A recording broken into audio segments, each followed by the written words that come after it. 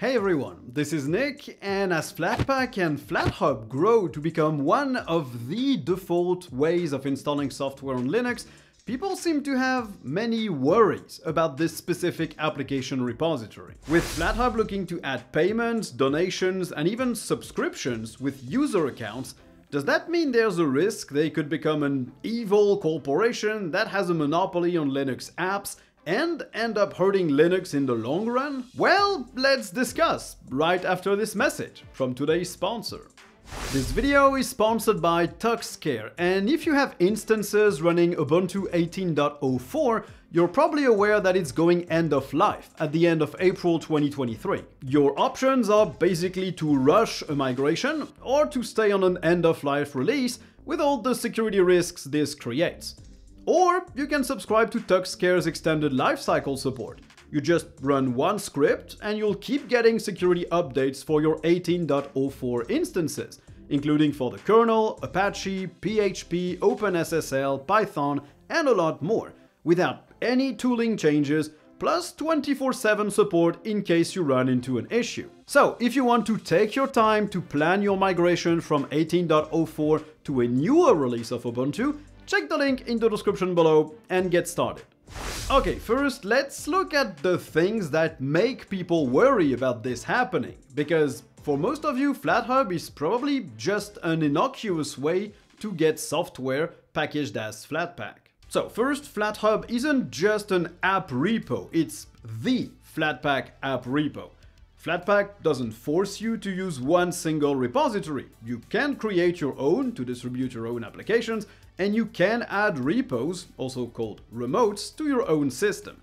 A few examples of those are Elementary's remote, that contains all the elementary apps you can find in their App Center, or you have a Fedora remote that contains a subset of apps from FlatHub curated by Fedora. FlatHub, though, is the biggest repository for Flatpak applications, to the point that, in most people's opinions, shipping Flatpak by default on a distro without FlatHub enabled makes no sense. Elementary OS doesn't ship FlatHub, mostly because they want to teach people that other repos are available, and giving them the biggest one right then and there would make this discovery very unlikely. Fedora decided not to use FlatHub because they can't control what's on it, and they don't want to display apps that might be illegal, copyrighted, or patented in their default experience. Although it seems that they might be changing their opinion on that because in Fedora 38 you will be able to enable FlatHub in just one click. But all of this is normal, it's a third-party repo for Flatpak apps that distros don't control. It's okay if they don't want to use it. What is starting to worry people is the direction FlatHub is going. They want to add payments, donations, and subscriptions so users can adequately compensate developers for their work. And on paper, that's pretty awesome, right? Finally, a simple, unified way to donate or contribute to the applications you use without having to look online and add your payment details to a ton of different websites. It sounds good, right? Well, yes and no, because it creates a few issues that people are worried about. Notably the user account thing, the power it would give FlatHub over other ways of distributing software, and the whole commercial company approach. So let's look at all these problems. Now, to handle payments, FlatHub needs to implement user accounts.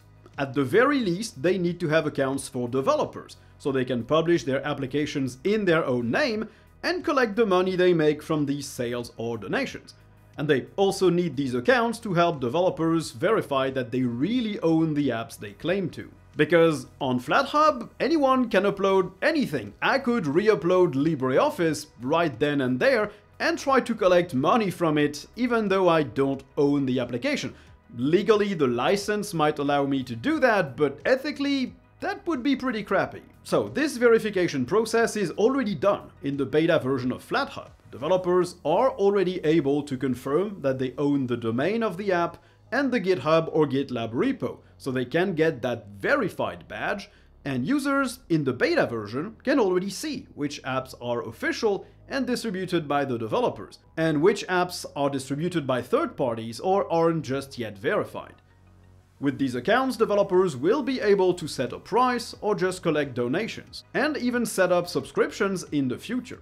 User accounts are also in the cards to handle user payments. And some people seem to think that these user accounts might be an issue because you're basically centralizing user data, Linux user data, in a single place. And I can understand the worry here, but these accounts don't have to have personal information.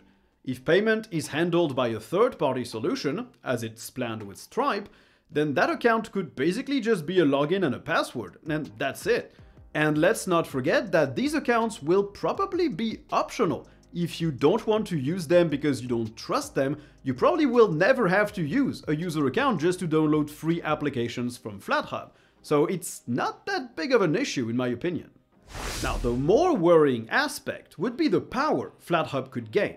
If FlatHub's payment solution works well and developers start actually making decent money from it, then it means they will be more motivated to use FlatHub as a platform to distribute their applications. This could lead to software being centralized on Linux, with developers ignoring other packaging formats and other repos, and FlatHub becoming the only app store on Linux. But this does not seem very likely at all. First, let's not forget that applications on FlatHub are 99% free and open source software, even if the developer decides to only use FlatHub from now on.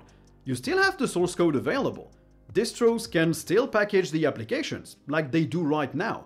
People can still create PKGBUILDs for the AUR or unofficial app images, None of this is going away because developers would prefer using FlatHub. All this unofficial packaging work is already being done by distros and individuals right now. This would not change. Second, FlatHub is open source. All the code for that platform is open and they don't seem to plan to change that either.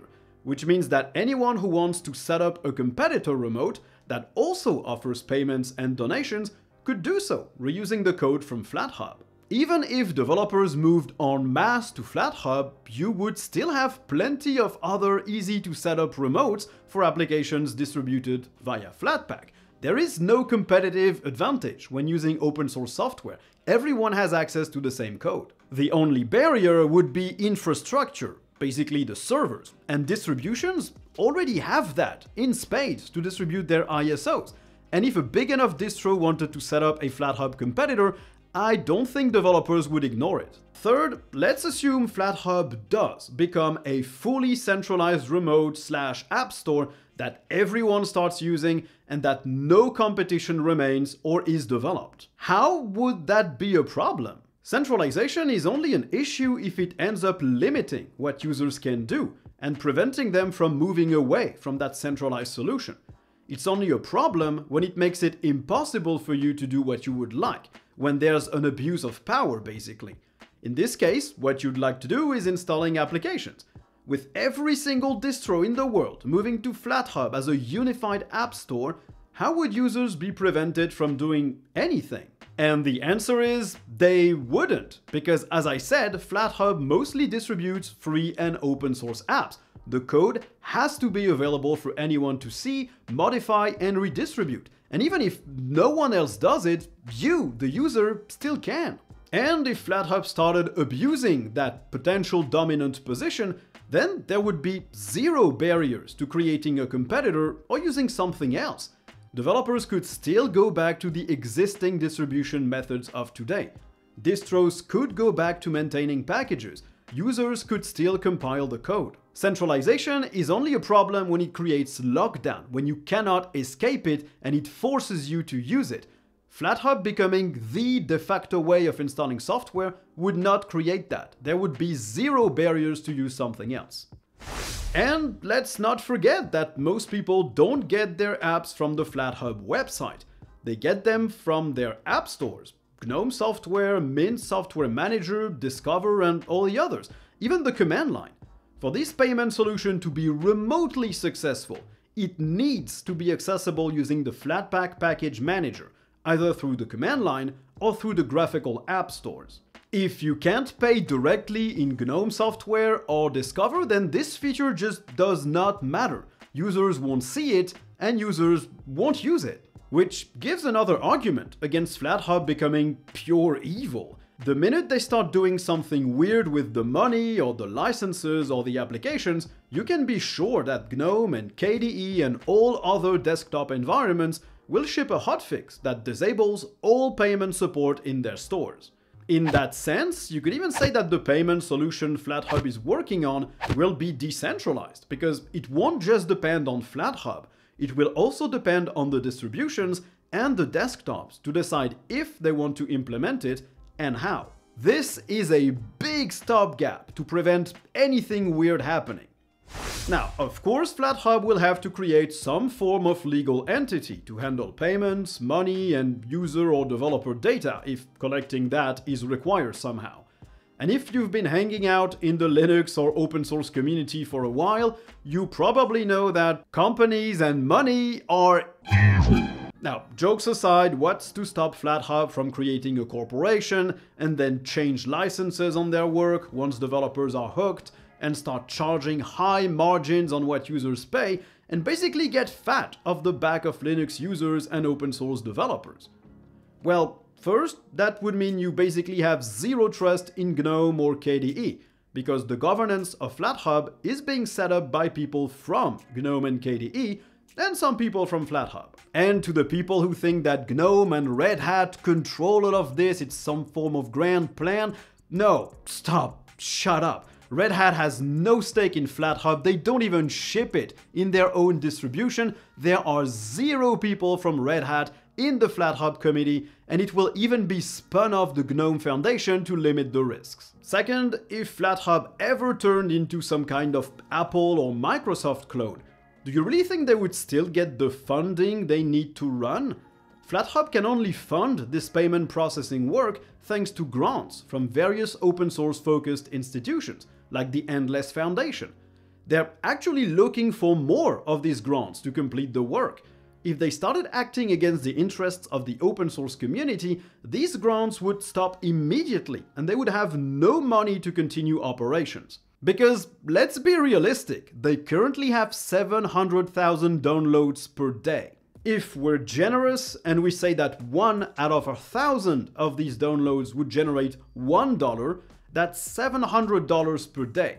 Let's imagine they take a big cut of 30% like Apple or Google do, and that leaves them with $210 per day. That's a whopping $6,300 per month, barely enough to pay a full-time developer and taxes. Even if they doubled these figures, or even if they multiplied them by 10, that's hardly enough money to justify an evil plan to dominate Linux app distribution. With these kinds of numbers, this feature is going to be a nice to have for developers, but it's never going to be something that everyone relies upon and that completely changes the landscape of Linux app distribution. So basically, FlatHub cannot turn evil or greedy. The minute they do, they lose funding, they lose developers, and they lose users. It's simply impossible for them to decide to go commercial or evil. Now, of course, there are still questions about this process. How will it be implemented by desktops and graphical app stores? Will personal information be collected and for what purpose? Which payment methods will be accepted and in which countries? How does this gel with already existing payment solutions, like on the Elementary OS App Center? Which form will the legal entity take? Will there be a commission on payments, or is the money going directly to the developer once payment processing fees from Stripe are paid? Will this payment system be part of Flatpak or exclusive to FlatHub? All these questions and more need to be answered before people can fully trust into that transition to handling money. But I think it's very clear that it's basically impossible for an open source project like FlatHub to turn into an evil, greedy corporation overnight, or even at all. And sure, you never know, governance of a project might turn sour without warning in the future.